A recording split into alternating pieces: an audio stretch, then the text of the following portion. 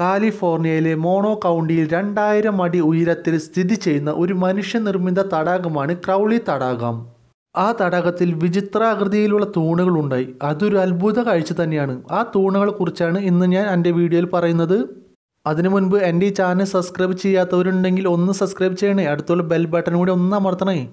ആയിരത്തി തൊള്ളായിരത്തി നാൽപ്പത്തി ഒന്നിൽ ഓവൽസ് നദിയിൽ ലോങ് വലി ഡാം നിർമ്മിച്ചപ്പോൾ ജലസംഭരണത്തിനും വെള്ളപ്പൊക്ക നിയന്ത്രണത്തിനുമായാണ് ഈ തടകം ഉണ്ടാക്കിയത് കാലിഫോർണിയയിലെ ഹൈവേ മുന്നൂറ്റി തൊണ്ണൂറ്റി അഞ്ചിലൂടെ സഞ്ചരിച്ചാണ് ഇവിടെ എത്തുന്നത്. അപൂർവമായ കാഴ്ചകളും മനോഹരമായ അനുഭവങ്ങളുമാണ് ഇവിടെ സഞ്ചാരികളെ കാത്തിരിക്കുന്നത്. ഇവിടത്തെ അപൂർവ കാഴ്ചയാണ് തടാകത്തിന്റെ കിഴക്കൻ തീരത്തായി കാണുന്ന വിചിത്രാകൃതിയിലുള്ള തൂണുകൾ പോലെയുള്ള രൂപങ്ങൾ. ഇരുപത് മീറ്ററിലധികം നീളമുണ്ട് ഇവയിൽ പലതിനും. കല്ലുകൊണ്ടുള്ള ഏകദേശം അയ്യായിരത്തിലധികം തൂണുകൾ ഈ പ്രദേശം ഒട്ടാകെ കാണാം. ഓരോന്നിനും ഓരോ നിറവും ആകൃതിയുമാണ്. എല്ലാത്തിലും ആയിരക്കണക്കിന് സൂക്ഷ്മമായ സുഷീരങ്ങൾ കാണാം. ഇവ എങ്ങനെ ഉണ്ടാകുന്നു എന്നതിനെ സംബന്ധിച്ച് പല പഠനങ്ങളും നടത്തിയിട്ടുണ്ട്. രണ്ടായിരത്തി പതിനഞ്ച് വരെ ഇതിനെക്കുറിച്ച് കൃത്യമായ ഒരു ധാരണ ഗവേഷകർക്കുണ്ടായിരുന്നില്ല. വർഷങ്ങൾക്ക് മുൻപുണ്ടായ അഗ്നിപർവത സ്ഫോടനത്തിന്റെ ഭാഗമായി രൂപപ്പെട്ടതാണ് ഈ കൽത്തൂണുകൾ എന്ന് പിന്നീട് ഗവേഷകർ കണ്ടെത്തി.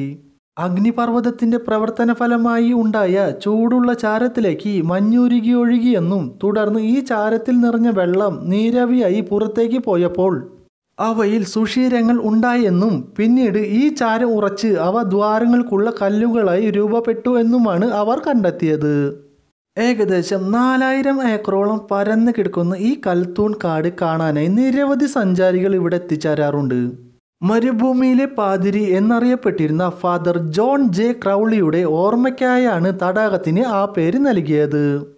ഓവൻസ് നദിയുടെ ചരിത്രത്തിൽ അദ്ദേഹത്തിന് വളരെ പ്രധാനപ്പെട്ട ഒരു സ്ഥാനമുണ്ട്. ലോസ് ഏഞ്ചൽസ് നഗരം ജലവിതരണം ഏറ്റെടുക്കുന്നത് ഓവൽസ് താഴ്വരയിൽ കാർഷിക മേഖലയെ നശിപ്പിക്കും എന്നൊരു സാഹചര്യം വന്നപ്പോൾ ഫാദർ ക്രൗളി അവരെ സമാധാനിപ്പിച്ചുകൊണ്ട് മുന്നോട്ട് വന്നു. അദ്ദേഹം താഴ്വരയിലുടനീളമുള്ള വീടുകളിൽ കയറിയിറങ്ങുകയും ഈ പ്രദേശം ഒരു വിനോദസഞ്ചാര കേന്ദ്രമാക്കി മാറ്റാമെന്നും അതിലൂടെ വരുമാനം നേടാമെന്നും അവരെ ബോധ്യപ്പെടുത്തി. അദ്ദേഹത്തിന്റെ കാഴ്ചപ്പാട് പിൻകാലത്ത് യാഥാർത്ഥ്യമായി.